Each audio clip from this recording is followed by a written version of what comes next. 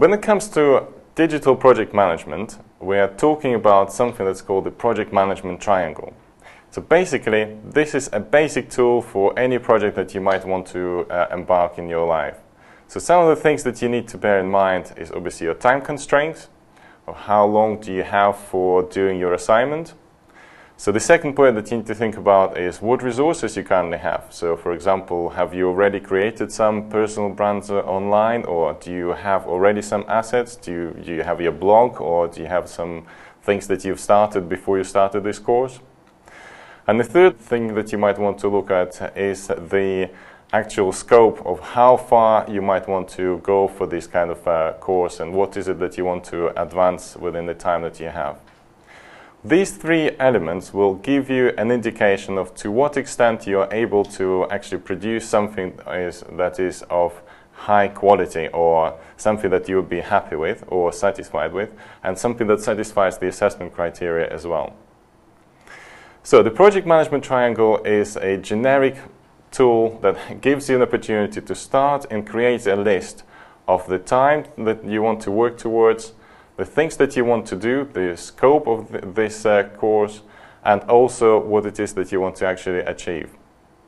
So the, the trick here is to try and not be too ambitious. So when you're thinking about so the grand ambition of your personal brand online, and if you might want to think that you want to cover the entire first page of Google, say when somebody searches for your uh, name, it might be a good long-term strategy, but perhaps for the course that you have, maybe the ambition should be uh, more specific and saying I will create two or one really good profile that will stand out and will give me a really good asset that I can develop in the future.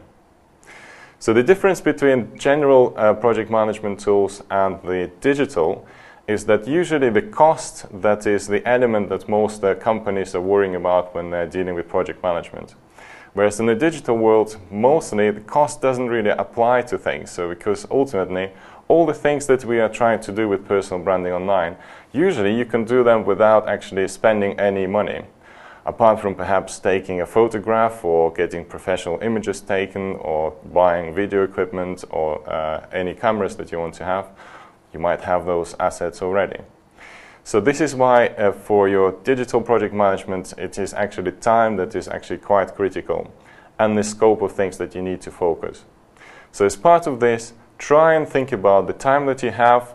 Obviously, bear in mind your other commitments that you have as an individual. You might have uh, private uh, uh, uh, interests or other courses that you're trying to follow, as well as the things that you want to achieve, the scope of the, the task that you want to achieve, before we get into the actual scheduling of those activities.